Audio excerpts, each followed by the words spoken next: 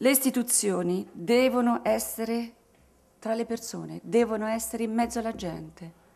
Le istituzioni devono aprirsi alle critiche delle persone e alle proposte che vengono fatte fuori da questo palazzo. Per questo accetto gli inviti a partecipare a incontri in varie città italiane che mi aiutano a comprendere ancora meglio le difficoltà in cui si dibatte la nostra società e anche le straordinarie potenzialità umane e materiali di cui è ricco il nostro Paese.